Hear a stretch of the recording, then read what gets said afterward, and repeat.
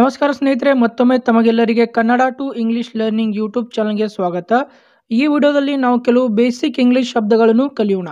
ನೀವು English basic ಇಂದ ಕಲಿತಾ ಇದ್ರೆ ಈ ಶಬ್ದಗಳು ನಿಮಗೆ ತುಂಬಾನೇ ಹೆಲ್ಪ್ ಆಗುತ್ತೆ. ಅದಕ್ಕೋಸ್ಕರ ವಿಡಿಯೋವನ್ನು ಕಂಪ್ಲೀಟ್ ಆಗಿ ನೋಡಿ.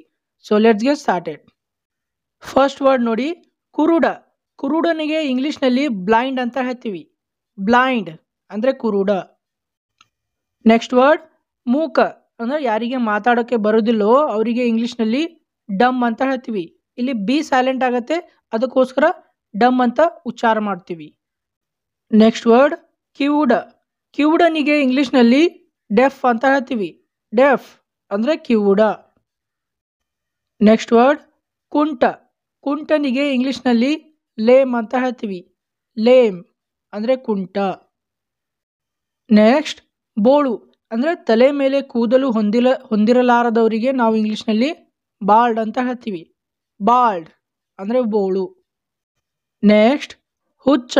ಹುಚ್ಚನಿಗೆ ಇಂಗ್ಲೀಷ್ನಲ್ಲಿ ಮ್ಯಾಡ್ ಅಂತ ಹೇಳ್ತೀವಿ. ಮ್ಯಾಡ್ ಅಂದರೆ ಹುಚ್ಚ. ನೆಕ್ಸ್ಟ್, ಧ್ವನಿ. ಧ್ವನಿಗೆ ಇಂಗ್ಲೀಷ್ನಲ್ಲಿ ವಾಯ್ಸ್ ಅಂತ ಹೇಳ್ತೀವಿ. ವಾಯ್ಸ್ ಅಂದರೆ ಧ್ವನಿ. ನೆಕ್ಸ್ಟ್, ಕಣ್ಣೀರು. ಕಣ್ಣೀರಿಗೆ ಇಂಗ್ಲೀಷ್ನಲ್ಲಿ ಟಿಯರ್ ಅಂತ ಹೇಳ್ತೀವಿ.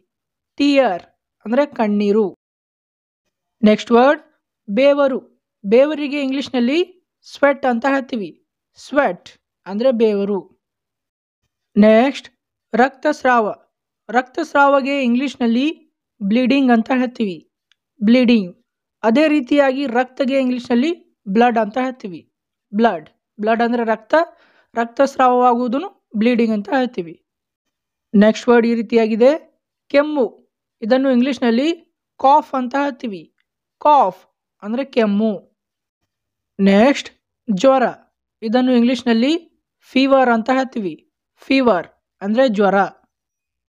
ನೆಕ್ಸ್ಟ್ ವರ್ಡ್ ಗೋರಕೆ ಹೊಡೆಯುವುದು ಅಂದರೆ ಕೆಲವರು ಮಲ್ಕೊಂಡಾಗ ಸೌಂಡ್ ಮಾಡ್ತಾರೆ, ಶಬ್ದ ಮಾಡ್ತಾರೆ. ಸೊ ಅದನ್ನು ಇಂಗ್ಲೀಷ್ನಲ್ಲಿ ಸ್ನೋರ್ ಅಂತ ಹೇಳ್ತೀವಿ ಸ್ನೋರ್.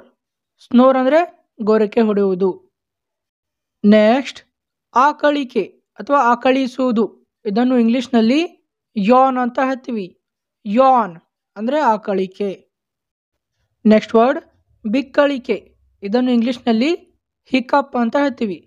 ಹಿಕಪ್ ಅಂದರೆ ಬಿಕ್ಕಳಿಕೆ. ನೆಕ್ಸ್ಟ್ ವರ್ಡ್ ಹೂಸು ಬಿಡು ಹೂಸು ಬಿಡುವುದಕ್ಕೆ ಇಂಗ್ಲೀಷ್ನಲ್ಲಿ ಫಾಟ್ ಅಂತ ಹೇಳ್ತೀವಿ. ಫಾಟ್. ನೆಕ್ಸ್ಟ್ ಗಂಟಲು ಕೆರೆತ. ಅಂದರೆ ನೆಗಡಿ ಆದಾಗ ನಮಗೆ ಗಂಟಲು ಕೆರೆತ ಆಗುತ್ತೆ ರೈಟ್ ಸೊ ಅದನ್ನು ಇಂಗ್ಲೀಷ್ನಲ್ಲಿ ಸೋರ್ ಥ್ರೋಟ್ ಅಂತ ಹೇಳ್ತೀವಿ. ಸೋರ್ ಥ್ರೋಟ್ ನೆಕ್ಸ್ಟ್ ವರ್ಡ್ ಕಣ್ಣು ಹೊಡೆಯುವುದು. ಕಣ್ಣು ಹೊಡೆಯುವುದಕ್ಕೆ ಇಂಗ್ಲೀಷ್ನಲ್ಲಿ ವಿಂಕ್ ಅಂತ ಹೇಳ್ತೀವಿ. ವಿಂಕ್ ಅಂದರೆ ಕಣ್ಣು ಹೊಡೆಯುವುದು. ನೆಕ್ಸ್ಟ್ ಕಣ್ಣು ಮಿಟುಕಿಸುವುದು. ಇದನ್ನು ಇಂಗ್ಲೀಷ್ನಲ್ಲಿ ಬ್ಲಿಂಕ್ ಅಂತ ಹೇಳ್ತೀವಿ. ಬ್ಲಿಂಕ್ ಅಂದರೆ ಕಣ್ಣು ಮಿಟುಕಿಸುವುದು. ಬಿರು ನೋಟ ಅಂದರೆ ಕಣ್ಣು ಬಡಿಯಲಾರದೆ ಒಂದೇ ಕಡೆ ನೋಡು, ನೇರವಾಗಿ ಒಂದೇ ಕಡೆ ನೋಡುವುದನ್ನು ಬಿರು ನೋಟ ಅಂತ ಹೇಳ್ತೀವಿ. ಸೊ ಇದನ್ನು ಇಂಗ್ಲೀಷ್ನಲ್ಲಿ ಸ್ಟೇರ್ ಅಂತ ಹೇಳ್ತೀವಿ.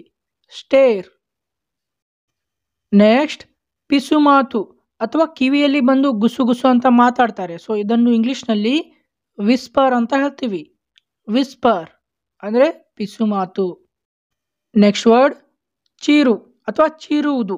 ಇದನ್ನು ಇಂಗ್ಲೀಷ್ನಲ್ಲಿ ಸ್ಕ್ರೀಮ್ ಅಥವಾ ಶೌಟ್ ಅಂತ ಕೂಡ ಹೇಳ್ತೀವಿ. Scream or shout next word ಗೋಣ ಅಲ್ಲಾಡಿಸುವುದು. ಅಂದರೆ ಯಾರಾದರೂ ಕೆಲಸ ಹೇಳಿದಾಗ ನಾವು ಮಾಡ್ತೀನಿ ಅಂತ ಹೇಳೋ ಬದಲು ಕೆಲವೊಂದು ಸಲ ಗೋಣ ಅಲ್ಲಾಡಿಸ್ತೀವಿ. ಸೊ ಅದನ್ನು ಇಂಗ್ಲೀಷ್ನಲ್ಲಿ ನೋಡ್ ಅಂತ ಹೇಳ್ತೀವಿ. ನೋಡ್ ಅಂದರೆ ಗೋಣ ಅಲ್ಲಾಡಿಸುವುದು. ನೆಕ್ಸ್ಟ್ ವರ್ಡ್ ಕೈ ಬೀಸು. ಅಂದರೆ ಕೆಲವೊಮ್ಮೆ ಯಾರಿಗಾದರೂ ಕರೆಯುವಾಗ ನಾವು ಮಾತಿನಿಂದ ಹೇಳೋ ಬದಲು ಕೈಯಿಂದ ಈ ಸೈಡ್ ಬನ್ನಿ, ಆ ಸೈಡ್ ಬನ್ನಿ ಅಂತ ಹೇಳ್ತೀವಿ. ಇದನ್ನು ಇಂಗ್ಲೀಷ್ನಲ್ಲಿ ವೇವ್ ಅಂತ ಹೇಳ್ತೀವಿ. ವೇವ್ ನೆಕ್ಸ್ಟ್ ಚುಚ್ಚುವುದು. ಅಂದರೆ ಪೆನ್ ಚುಚ್ಚುವುದು, ಮೂಳು ಚುಚ್ಚುವುದು, ಎಲ್ಲವೂ ಬಂತು. ಇದನ್ನು ಇಂಗ್ಲೀಷ್ನಲ್ಲಿ ಪ್ರೀಕ್ ಅಂತ ಹೇಳ್ತೀವಿ. ಪ್ರೀಕ್ ಅಂದರೆ ಚುಚ್ಚು, ಚುಚ್ಚುವುದು. ನೆಕ್ಸ್ಟ್ ಕಚ್ಚುವುದು. ಕಚ್ಚುವುದಕ್ಕೆ ಇಂಗ್ಲೀಷ್ನಲ್ಲಿ ಬೈಟ್ ಅಂತ ಹೇಳ್ತೀವಿ. ಬೈಟ್ ಅಂದರೆ ಕಚ್ಚುವುದು. Next word ತಿಕ್ಕುವುದು. ತಿಕ್ಕುವುದಕ್ಕೆ ಇಂಗ್ಲೀಷ್ನಲ್ಲಿ ರಬ್ ಅಂತ ಹೇಳ್ತೀವಿ. ರಬ್ ಅಂದರೆ ತಿಕ್ಕುವುದು. ನೆಕ್ಸ್ಟ್ ನಿದ್ರಿಸು ಅಥವಾ ಮಲಗು. ಇದನ್ನು ಇಂಗ್ಲೀಷ್ನಲ್ಲಿ ಸ್ಲೀಪ್ ಅಂತ ಹೇಳ್ತೀವಿ. ಸ್ಲೀಪ್.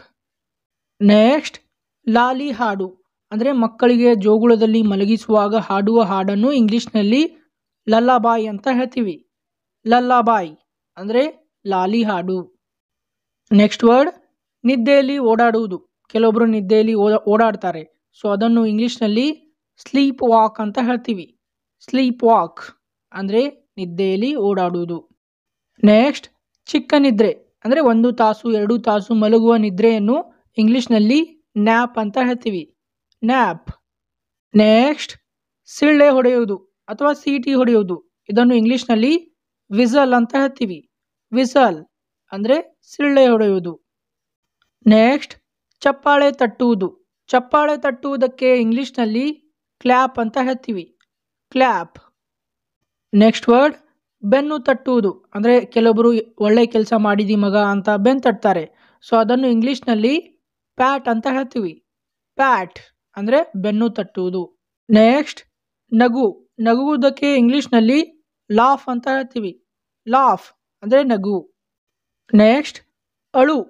ಅಳುವುದಕ್ಕೆ ಇಂಗ್ಲೀಷ್ನಲ್ಲಿ ಕ್ರಾಯ್ ಅಂತ ಹೇಳ್ತೀವಿ. ಕ್ರಾಯ್ ಅಂದರೆ ಅಳು, ಅಳುವುದು. ನೆಕ್ಸ್ಟ್ ವರ್ಡ್ ನೆಕ್ಕು. ನೆಕ್ಕುವುದಕ್ಕೆ ಇಂಗ್ಲೀಷ್ನಲ್ಲಿ ಲೀಕ್ ಅಂತ ಹೇಳ್ತೀವಿ. ಲೀಕ್ ಅಂದರೆ ನೆಕ್ಕು.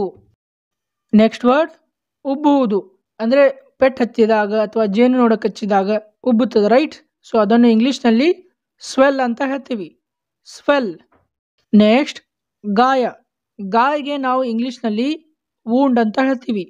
ವೂಂಡ್ ಅಂದರೆ ಗಾಯ. ನೆಕ್ಸ್ಟ್ ಗುಣವಾಗುವುದು. ಗಾಯ ಅಥವಾ ಯಾವುದೇ ರೋಗ ಗುಣವಾಗುವುದಕ್ಕೆ ಇಂಗ್ಲೀಷ್ನಲ್ಲಿ ಹೀಲ್ ಅಂತ ಹೇಳ್ತೀವಿ. ಹೀಲ್. ನೆಕ್ಸ್ಟ್ ವರ್ಡ್ ಗುಳ್ಳೆ. ಗುಳ್ಳೆಗೆ ಇಂಗ್ಲೀಷ್ನಲ್ಲಿ ಬ್ಲಿಸ್ಟರ್ ಅಂತ ಹೇಳ್ತೀವಿ. ಬ್ಲಿಸ್ಟರ್. ಅದೇ ರೀತಿಯಾಗಿ ಗುಳ್ಳೆಗಳಿಗೆ ಇಂಗ್ಲೀಷ್ನಲ್ಲಿ ಬ್ಲಿಸ್ಟರ್ಸ್ ಅಂತ ಹೇಳ್ತೀವಿ. ಬ್ಲಿಸ್ಟರ್ಸ್. ನೆಕ್ಸ್ಟ್ ತಲೆನೋವು. ತಲೆನೋವುಗೆ ಇಂಗ್ಲೀಷ್ನಲ್ಲಿ ಹೆಡೆಕ್ ಅಂತ ಹೇಳ್ತೀವಿ. ಹೆಡೇಕ್ ಅಂದರೆ ತಲೆನೋವು. ಹೊಟ್ಟೆ ನೋವು ಹೊಟ್ಟೆ ನೋವಿಗೆ ಇಂಗ್ಲೀಷ್ನಲ್ಲಿ ಸ್ಟಮಕ್ ಏಕ್ ಅಂತ ಹೇಳ್ತೀವಿ. ಸ್ಟಮಕ್ ಏಕ್ ಅಂದರೆ ಹೊಟ್ಟೆ ನೋವು ನೆಕ್ಸ್ಟ್, ಕಿವಿ ನೋವು. ಕಿವಿ ನೋವಿಗೆ ಇಂಗ್ಲೀಷ್ನಲ್ಲಿ ಇಯರ್ ಏಕ್ ಅಂತ ಹೇಳ್ತೀವಿ. ಇಯರ್ ಏಕ್ ಅಂದರೆ ಕಿವಿ ನೋವು. ಹಲ್ಲು ನೋವು. ಹಲ್ಲು ನೋವಿಗೆ ಇಂಗ್ಲೀಷ್ನಲ್ಲಿ ಟೂತ್ ಏಕ್ ಅಂತ ಹೇಳ್ತೀವಿ. ಟೂತ್ ಏಕ್ ಅಂದರೆ ಹಲ್ಲು ನೋವು. ಬೆನ್ನು ನೋವು. ಬೆನ್ನು ನೋವಿಗೆ ಇಂಗ್ಲೀಷ್ನಲ್ಲಿ ಬ್ಯಾಕ್ ಏಕ್ ಅಂತ ಹೇಳ್ತೀವಿ. ಬ್ಯಾಕ್ ಏಕ್ ಅಂದರೆ ಬೆನ್ನು ನೋವು. ನೆಕ್ಸ್ಟ್, ದುರ್ಬಲತೆ. ದುರ್ಬಲತೆಗೆ ಇಂಗ್ಲೀಷ್ನಲ್ಲಿ ವೀಕ್ನೆಸ್ ಅಂತ ಹೇಳ್ತೀವಿ. ವೀಕ್ನೆಸ್ ನೆಕ್ಸ್ಟ್, ಆರೋಗ್ಯ. ಆರೋಗ್ಯಕ್ಕೆ ಇಂಗ್ಲೀಷ್ನಲ್ಲಿ ಹೆಲ್ತ್ ಅಂತ ಹೇಳ್ತೀವಿ. ಹೆಲ್ತ್ ಅಂದರೆ ಆರೋಗ್ಯ. ನೆಕ್ಸ್ಟ್, ರೋಗ. ರೋಗಗೆ ಇಂಗ್ಲೀಷ್ನಲ್ಲಿ ನಾವು ಡಿಸೀಸ್ ಅಂತ ಹೇಳ್ತೀವಿ. ಡಿಸೀಸ್ ಅಂದರೆ ರೋಗ. ವಿಡಿಯೋ ನೋಡಿದ್ದಕ್ಕೆ ತುಂಬ ಧನ್ಯವಾದಗಳು. ಈ ವಿಡಿಯೋ ನಿಮಗೆ ಇಷ್ಟ ಆಯಿತಾ ಅಂತ ತಿಳ್ಕೊತೀನಿ. ಇಷ್ಟ ಆದರೆ ಚಾನಲ್ಗೆ ಸಬ್ಸ್ಕ್ರೈಬ್ ಮಾಡೋದನ್ನು ಮರಿಬೇಡಿ. That's all in this video let's catch you in the next video till then take care